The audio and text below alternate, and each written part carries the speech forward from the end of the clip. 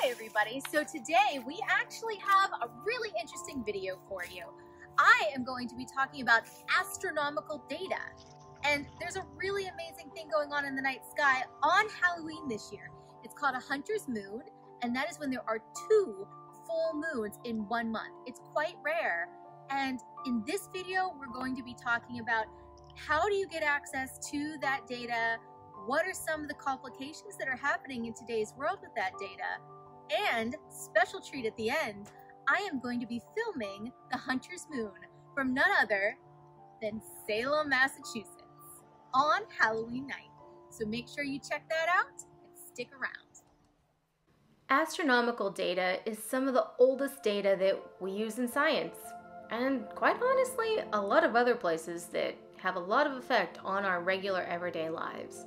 This year in 2020, there will be a second full moon in October, on Halloween to be exact, and that goes by a few names Hunter Moon, Blood Moon, and also Blue Moon. These terms come from a variety of observations throughout the decades, with the first recording in none other than the Farmer's Almanac in 1946.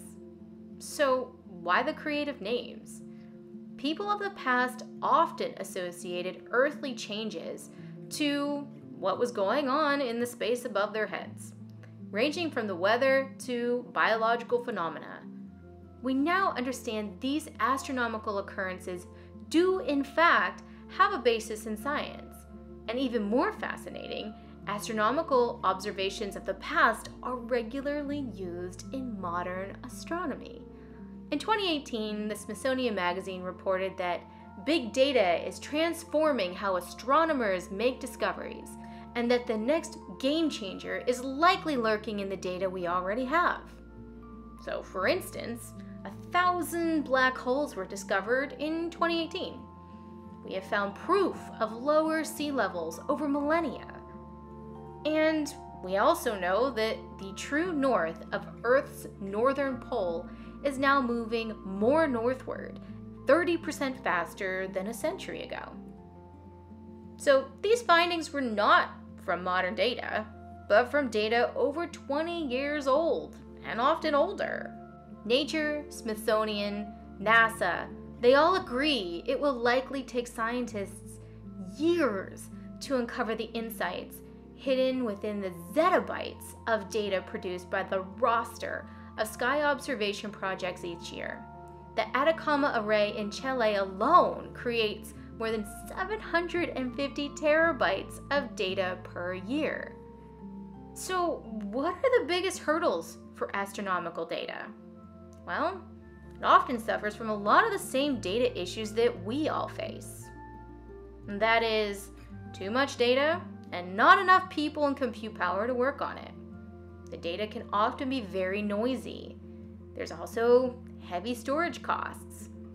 And more importantly than probably a lot of these other ones is there's no good roster of standards for how to classify, how to code, how do you actually get this data put into a schema that will allow interoperability and therefore more access and insight generation. So, how can you access and make sense of some of this data that is around us? Well, there are quite a few projects.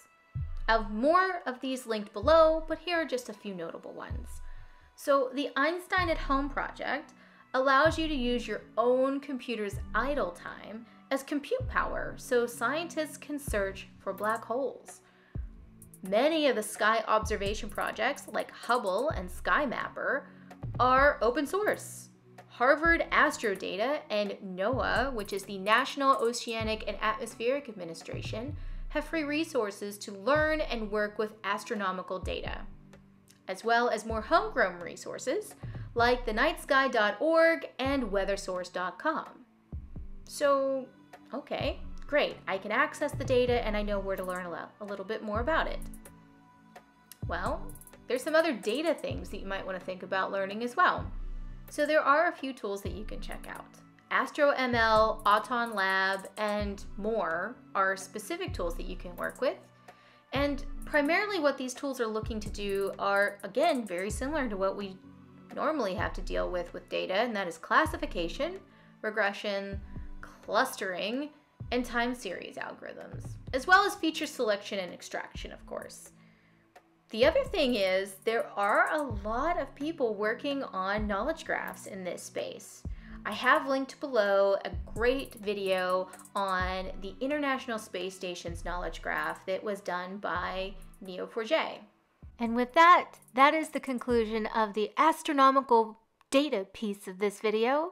And if you want to check out that Hunter's Moon, keep on watching.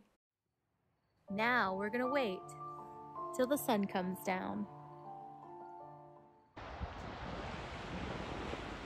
Okay, how to switch locations. So we are now by the ocean at the Salem Wharf. But there's the moon. It's a little atmospheric noise here, but you can hear the waves. So thank you for watching this video.